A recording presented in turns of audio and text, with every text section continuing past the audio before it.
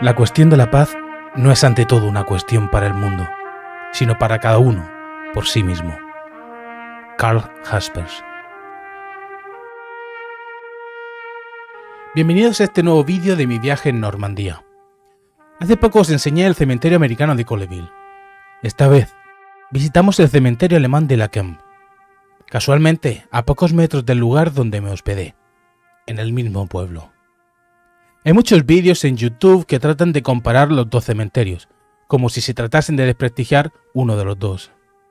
Hoy quiero adentraros en su historia y sobre todo en cómo puede sobrevivir un cementerio de ocupantes en el país que ocuparon. Antes de nada quiero contaros la historia del cementerio en sí. Quizás lo que más hay que remarcar es que el cementerio de Le Camp no ha sido siempre un cementerio alemán. Al contrario, el cementerio de Le Camp junto con el de San María Église, era uno de los más numerosos del ejército americano. En la imagen podemos ver un grupo de franceses dejando ofrendas a los caídos americanos unos pocos días después del día D en el cementerio de Le Camp. El cementerio fue inaugurado por la 29 División a los pocos días de la toma de Le Camp, toma que por cierto fue un desastre por parte de los Estados Unidos, dado que en el ataque americano la aviación estadounidense ametralló a sus propios soldados, ocasionando la muerte de casi 30 soldados.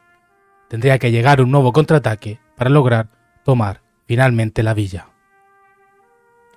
Obviamente, y como en todos los cementerios militares, las tumbas fueron excavadas por los vencidos. Además, dada la magnitud de las bajas, tuvieron que contratar sepultureros de otros pueblos para las inhumaciones. A los alemanes se les permitió enterrar a sus caídos en una remota esquina del campo, que años después casi era imperceptible por los matojos que crecían alrededor de las tumbas. Era de esperar que el ejército americano y el gobierno francés no mantuviesen el área de los alemanes.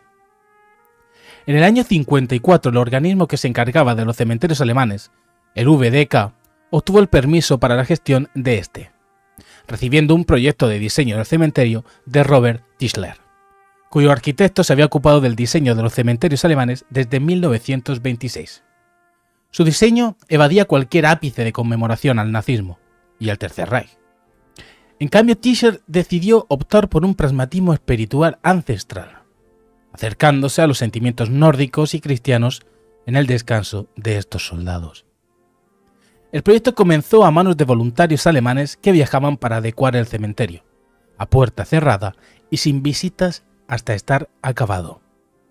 El diseño de Tisler era simple, modificó y utilizó las parcelas de los americanos tras la repatriación de los cuerpos de Estados Unidos al país de origen y los traslados al cementerio de Colleville, marcando primeramente con cruces blancas los soldados que ocupaban el lugar de una fosa antigua americana y con cruces negras aquellas que habían sido excavadas de nuevo. Según el árbol de descanso en la mitología nórdica, las parcelas tendrían robles que acompañarían al diseño, y cruces de basalto color negro. Hay muchos youtubers diciendo que el color de las cruces es cosa de los americanos, para así dar un aspecto de maldad al cementerio. Pero eso es totalmente falso. El basalto fue escogido por los propios familiares de los caídos alemanes, por ser una piedra barata y que resiste a la intemperie. En 1961, el cementerio alemán de Le Camp, tras la ayuda de los voluntarios, vio la luz por primera vez.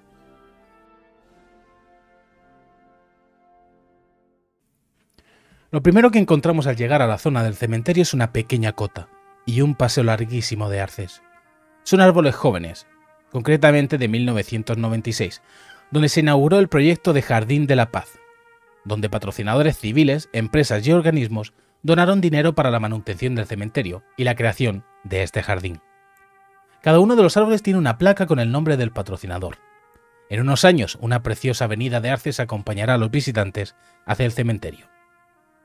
En el jardín hay un monolito, con una cita, la cita del principio del vídeo, de Karl Jasper, que habla de que la paz no debe de ser algo requerido por un ente, organismo o país, sino que la paz radica en la voluntad de cada uno de nosotros, de los individuos, y entre todos, así lograrla. Cada año el cementerio recibe una conmemoración por los aliados y el ejército alemán, así como la VDK, donde honran honores a los caídos. Y eso es algo que es difícil de enmarcar, difícil de asimilar para muchos franceses. Wolfgang Schneidham, presidente de la VDK, dijo en uno de sus discursos en el cementerio, Aquí yacen soldados alemanes, y es difícil no poder decir que sus cuerpos honran a la liberación de Europa, sino que en cambio tenemos que entender que están aquí enterrados, lejos de su hogar, por ocupar este país. Tisler diseñó esta entrada que podemos apreciar que es una entrada de lo más pequeña que hayamos podido ver. Quizás nos sorprenderá esta pequeñez, y no es un fallo de diseño, sino de uno de los simbolismos más duros que existen y es que Tischler la diseñó así, para que solo pudiera pasar la gente de uno en uno. De esta manera, simbolizando que el paso a la muerte la hace cada uno de nosotros solo y por nuestras propias acciones. Este hecho trajo y aún trae algo de debate, dado que Tisler intenta de esta manera, según sus palabras, decir que únicamente Dios puede juzgarnos y que nadie más, lo cual deja bastante al margen a las víctimas del nazismo y de la ocupación.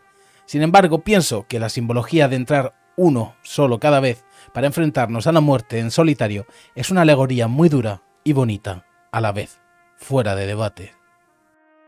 Por la escasez de sitio en el cementerio para la cantidad de soldados aquí enterrados, que son 21.246 soldados, hace que la mayoría de tumbas la ocupen dos soldados o incluso más, siendo en este caso por encontrar una fosa con las identificaciones, pero sin precisar cuál es cuál. De esta manera permanecen juntos, por falta de identificación real. Las tumbas ya no son cruces, ahora las únicas cruces son el juego de cinco cruces de basalto, siendo la del centro siempre más alta, que hace referencia al comandante guiando a su unidad. Estos juegos de cruces dividen las zonas del cementerio. En cambio, las cruces de antes ahora son cruces en el suelo, con un pequeño cuadrado de cemento, con inscripciones en ellas. Como en todo cementerio militar, no escasean las tumbas de soldados desconocidos. Aquí, en Le Camp, marcadas como Seu Soldaten o En Dutch Soldat, dependiendo de la etapa, estaba escrito de una manera o de otra. Esto hace que el lugar sea un poco inhóspito, en cierta manera, dado que los soldados yacen bajo la tierra, con la cruz sobre ellos, de alguna manera no dándoles el mayor protagonismo que el de un soldado que defiende su patria. Como bien decía el presidente de la VDK, no hay que olvidar que yacen aquí por ser soldados de una ocupación. Al igual que en otros cementerios, el cementerio de Le Camp ha recibido caídos décadas después. Hace apenas cinco años, enterraron a otro suboficial alemán encontrado en la batería de Macy, cuyos restos meten en una urna de metal y son enterrados con su inscripción. Hay variedad de lápidas, con apenas un nombre o varios, como bien he dicho. Hay incluso unidades enteras enterradas juntas. Pero uno de los puntos de debate en el cementerio es que aquí yacen 2.100 soldados de las Waffen SS, algo que la población francesa no tolera del todo y los hace sentir incómodos. En el centro del cementerio corona un túmulo, en cuya cúspide descansa una gigante cruz de basalto con dos iconografías, María y José. Bajo este túmulo descansan 396 soldados. De ellos, 290 son desconocidos y el resto no han podido ser identificados individualmente y sus nombres descansan en placas de metal en su base. Desconozco si Kisler tuvo esto pensado, pero no eres consciente de la magnitud de los enterrados en este lugar hasta que no subes al túmulo, desde donde puedes apreciar la cantidad de cruces que hay en la zona, y en cada una de esas cruces hay más de dos personas enterradas. En este momento fue el momento en el que más pude recapacitar, sin sacar una conclusión clara sobre el enterramiento de estos alemanes de la Alemania nazi que yacen lejos de su hogar por cumplir órdenes en su mayoría, forzados a cumplirlas. Por otra parte entiendo a las víctimas de la ocupación sobre la presencia de esta cantidad ingente de caídos. Aparco este debate emocional para simplemente darme cuenta de la cantidad de bajas ocasionadas tan solo en unos días en esta zona, en Normandía dado que había visitado el mismo día los dos cementerios principales. Y excepto el túmulo, no vemos ninguna tumba más diferente que otra. Pese a que en este cementerio podemos encontrar alemanes notablemente conocidos como Sigmund Helmut von Davans, general de la Wehrmacht, el responsable de la matanza de Orador, el SS Sturmbannführer Adolf Diekmann, la matanza de Orador, la cual ya os contaré en un vídeo. El Hauptmann Herbert Hudbert, piloto de insignia de la Luftwaffe, o el famoso SS Hauptbefehler Michael Whitman, el King Tiger, cuya lápida cruz fue robada en 2015. No os miento si apenas media docena de tumbas tenían alguna ofrenda de flores, lo que hacía a todas aún más iguales. Me costó un buen paseo encontrar la tumba de Whitman, el considerado como mejor comandante panzer del ejército nazi. Ahí, como cualquier otro. Tan solo con unas macetas secas yacía. Un SS adorado por la extrema derecha y respetado por los demócratas, como comandante Panzer. Ahí estaba, yacía entre soldados desconocidos y soldados rasos. Ahora, reforzada toda su unidad en una sola losa para evitar, de nuevo, su robo. Es hora de volver a casa, con un nudo en el estómago tras ver en un solo día los dos cementerios principales de Normandía. Entre ambos, casi 35.000 caídos yacían bajo tierra que un día se disputaron, y sin el derecho ni la capacidad de juzgar que es justo que sean o no enterrados aquí, dejo mi respeto a todos los caídos forzados a luchar. Que descansen en paz los caídos. Gracias por ver este vídeo, y si crees que lo merezco y te gusta mi contenido, te invito a que dejes un like, una suscripción y el comentario sobre tu pensamiento en la caja de comentarios. Nos vemos en el siguiente vídeo. Un fuerte abrazo.